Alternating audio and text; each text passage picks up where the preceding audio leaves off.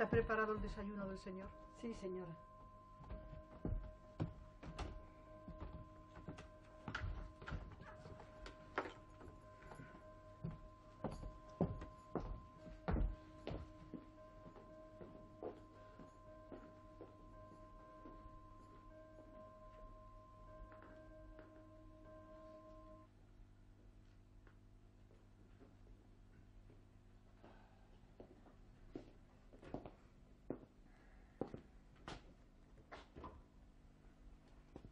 Caramba, Jane. ¿Vive usted todavía? Todavía, señor. ¿Y se puede saber qué diablos ha estado haciendo tres semanas fuera de casa? Dos, señor. Hace una semana que regresé. ¿Todo bien? Mi tía ha muerto. Vaya.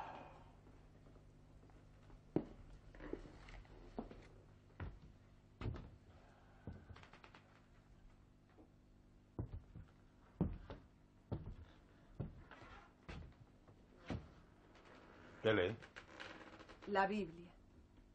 Ah, ya. Claro, es domingo y Jane Eyre hace siempre lo que debe hacer en el momento que debe hacerse.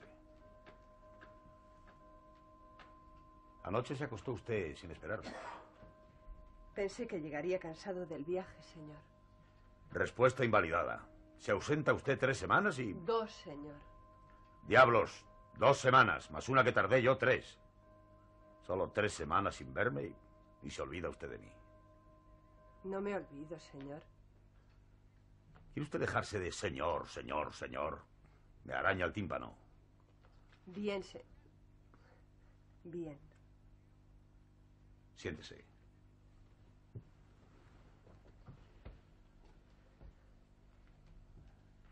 ¿Sabe usted que estaba en Londres? Sí. ¿Y no quiere saber en qué estaba ocupado? Lo sé, señor. En los preparativos de su boda. Todo el mundo lo sabe en la casa. Bien, ¿qué se le ocurre decirme? Enhorabuena, señor. ¿Solo eso? Otra cosa. Supongo que cuando se case, enviará a Adela a un colegio. Hmm, Es razonable. ¿Y usted? ¿A dónde irá usted? ¿Al diablo? Espero que no, señor. Sí, supongo que regresará a su inefable orfanato, bueno, digamos colegio, y se convertirá en una profesora solterona y cascarrabias. Eso tampoco será posible, señor. El orfanato Blood dejó de existir. Se ha convertido en hospital de beneficencia, según me han dicho. Tendré que buscar otro empleo. No lo creo, Jane. ¿No? Yo mismo me he encargado de buscarle colocación para usted. Mi futura suegra me habló de una plaza que quizá le interese. Es en casa de los Ogol, en Connaught, Irlanda. Dicen que los irlandeses son muy afectuosos. Tan lejos, señor. No creo que a una joven como usted le asuste el viaje. No es el viaje, señor. Es la distancia y el mar que me separará de, ¿De qué, Jane? de Inglaterra, de Thornfield y de... ¿De qué más, Jane? de usted, señor. Si era eso lo que quería oír. ¿Verdad que Thorfield es un lugar muy agradable en verano? Sí, señor. Y me parece... Me parece que usted le ha tomado cariño a la casa. Sí. Y hasta creo que le ha cobrado afecto a Bella y a la señora Fairfax. Las aprecio a cada una en un sentido. Qué pena, ¿verdad? Siempre ocurre lo mismo en la vida. Cuando uno se encuentra a gusto en un sitio, se ve en la obligación de abandonarlo. Sí. Es una pena. Lo siento, Jane. Bien, señor. Me prepararé para cuando usted me dé la orden de irme.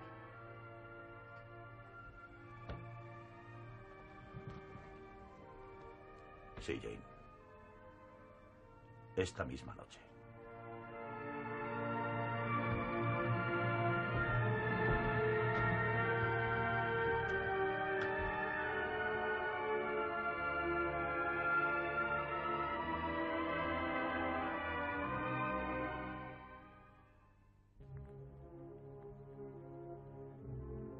Como si todas las calamidades hubieran puesto sitio a mi persona. Gracias a Dios, la senda dolorosa iba llegando a su fin. Porque, ¿qué otra desventura podía ya zaherirme? Incluso mis amigos, las personas que me apreciaban, me estaban dañando sin proponérselo. Hay momentos en la vida tan cercanos al cero que si uno continúa andando es simplemente por inercia. Aquellos días yo tenía la sensación de que a cada paso que andaba el mundo se hundía bajo mi pie como una gran fruta podrida y nauseabunda.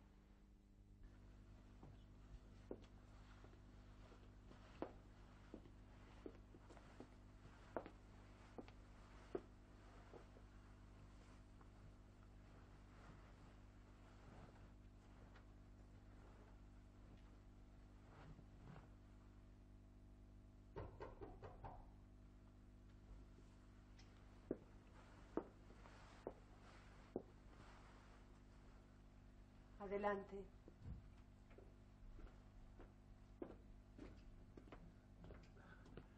La señora Feixbach dice que el... El equipaje, ¿verdad? Sí. Lo llevaré a la estación de postas. La diligencia sale al anochecer, pero es preciso que... Lo siento, señorita Jane. Todos sentimos mucho que se vaya. Ya lo ve, Juan. El pobre bacalao tiene que volverse al mar. ¿Sabía, sabía usted que yo... ¿Que me llamaba bacalao? Claro que sí. Y por lo visto tenía razón.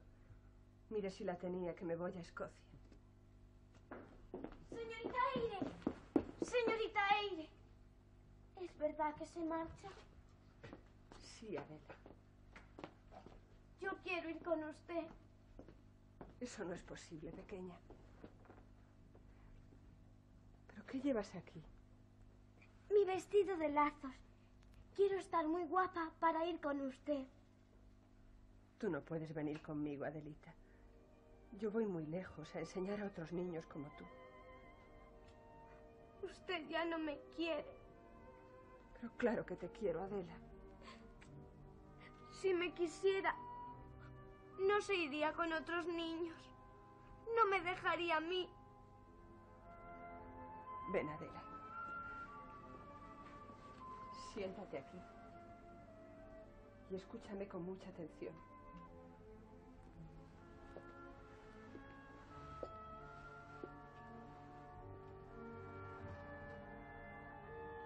Adela, quiero que comprendas lo que voy a decirte. Tú eres todavía una niña, pero dentro de poco serás una señorita mayor. Me hubiera gustado mucho esperar ese día para hablar contigo de muchas cosas. Porque muchas cosas pequeñas somos iguales las dos. Pero ya ves, tengo que partir y no puedo esperar ese día. Ya sé que no puedes comprender todo lo que quiero decirte. Pero de una cosa sí quiero que te acuerdes. Aprende por encima de todo a ser mujer. Y lucha por ello sin ceder jamás una sola pulgada de tus derechos. No entiendo, señorita. Ya lo sé, pequeña. Mira, quiero decir lo siguiente. Ahora tú y yo vamos a despedirnos. Y las dos tenemos muchas ganas de llorar. Pero no lloraremos. Vamos a ser fuertes. Vamos a luchar por ser mujeres fuertes. Y en lugar de llorar, Adela, repasaremos una lección. ¿Te acuerdas de nuestra primera lección? Señorita Adela Verne, ¿cuál es el escudo de Gibraltar? El escudo de Gibraltar está compuesto por tres torres y una llave. ¿Y qué significa la llave? Significa que Gibraltar es la llave del Mare Nostrum o Mediterráneo. Si se domina el estrecho de Gibraltar, se domina el mar Mediterráneo. Por eso, Inglaterra, que tiene los mejores barcos del mundo,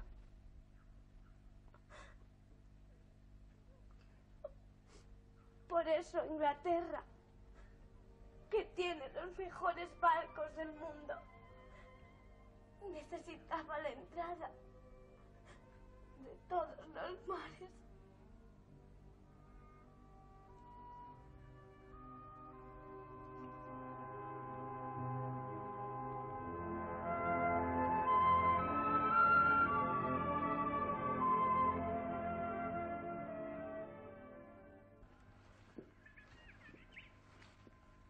Venga, Jane. Cuando dos buenos amigos se separan, emplean el corto tiempo que les queda en estar juntos, en hablar de sí mismos. Siéntese. No. No, ahí no. Allí.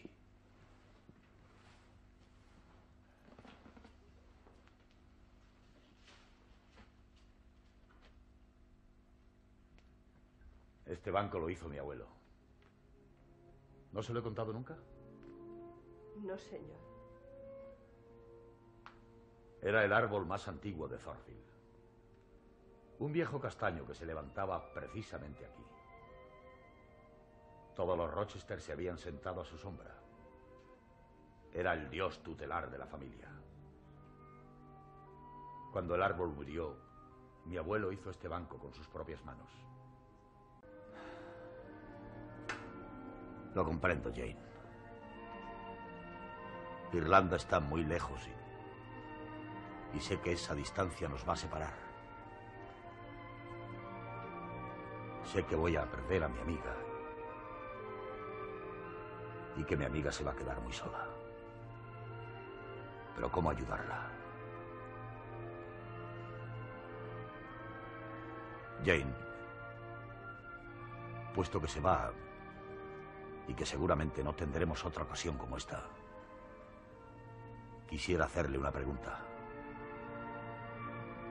¿Me promete contestarla sinceramente? Sí, señor. ¿Experimenta usted algún sentimiento hacia mí?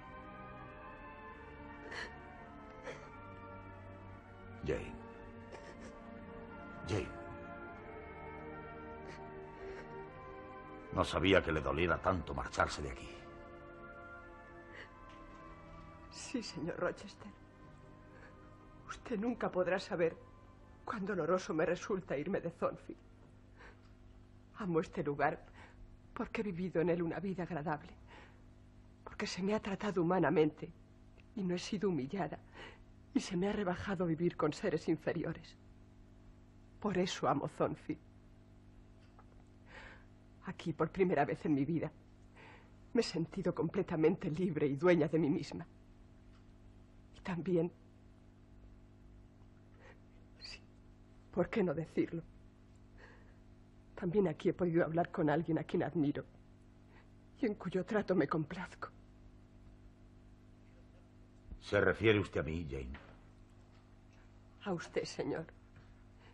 Me asusta pensar que tengo que irme de su lado, porque había llegado a sentir que allí donde estuviera usted, allí estaba mi casa. Mi única casa. Pero eso no importa. Ahora reconozco y acepto mi partida, del mismo modo que acepto la necesidad de morir. ¿Y qué necesidad tiene de irse? Usted mismo me lo ha indicado. ¿Así? ¿A propósito de qué? No juegue con mis sentimientos, señor. No, no. Conteste. ¿A propósito de qué? A propósito de la señorita Blanca Ingram, su prometida. ¿Mi prometida? Yo no tengo prometida.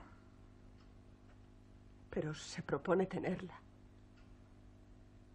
Sí. Me propongo tenerla. Bien, señor. Es hora de que me vaya. No, Jane, quédese. Se quedará. Se lo juro y, y cumpliré mi juramento. Y yo le digo que me voy. ¿O cree que puedo vivir a su lado sabiendo que no significo nada para usted? ¿Cree que soy una máquina sin sentimientos? ¿Cree que carezco de alma y de corazón? Se equivoca, señor. Tengo tanta alma y tanto corazón como usted.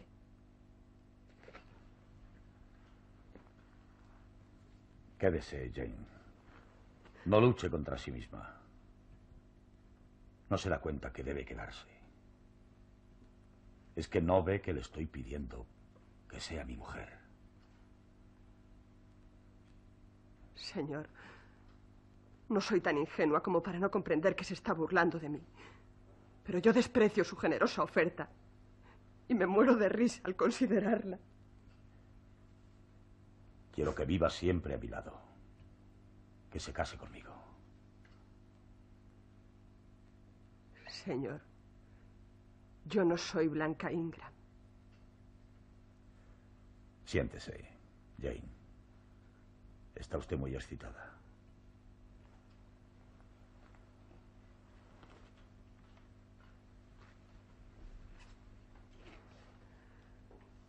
Deseo casarme con usted.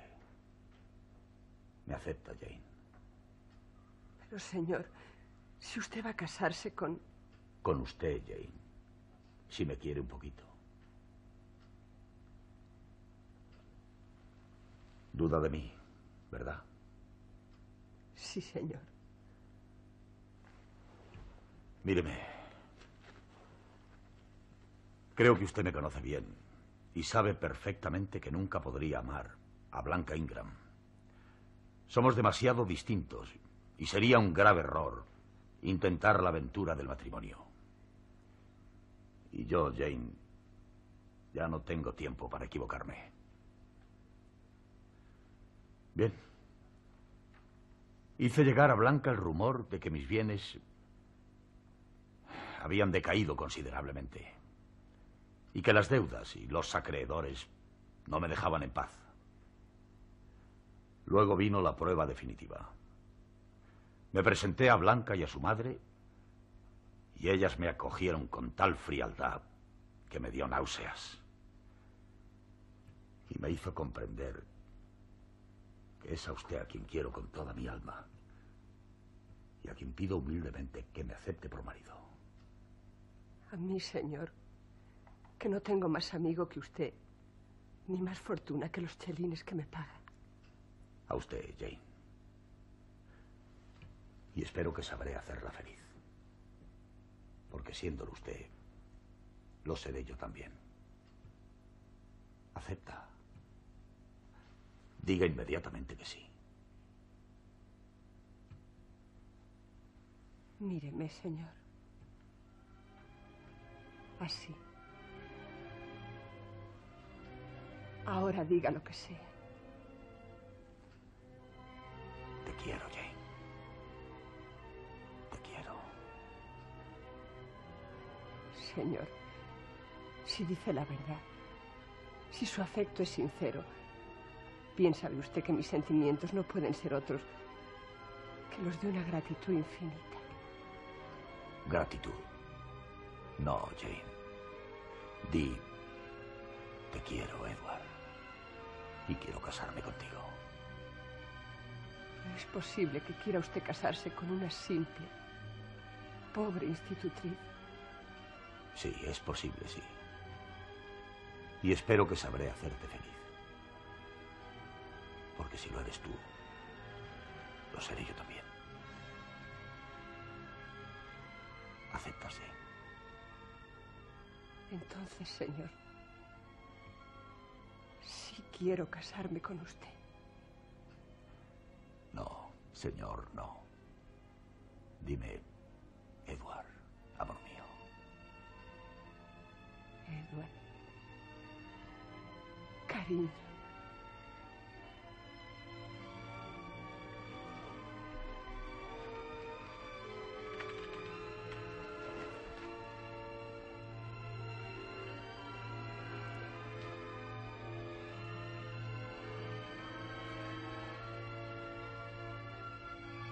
Sé que los cielos aprueban lo que estoy haciendo. La opinión del mundo me es indiferente.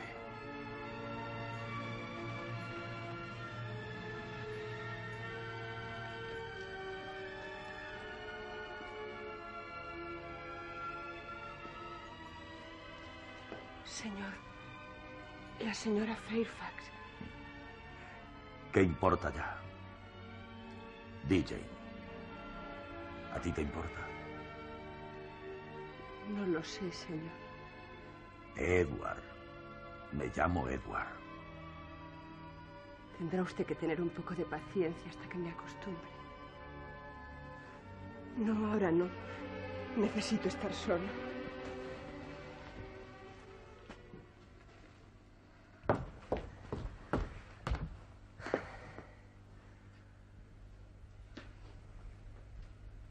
Equipaje está en la estación de postas.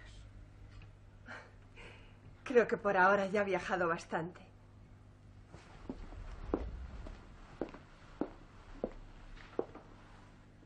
Señora Fairfax, no ocurre nada de lo que usted pueda pensar.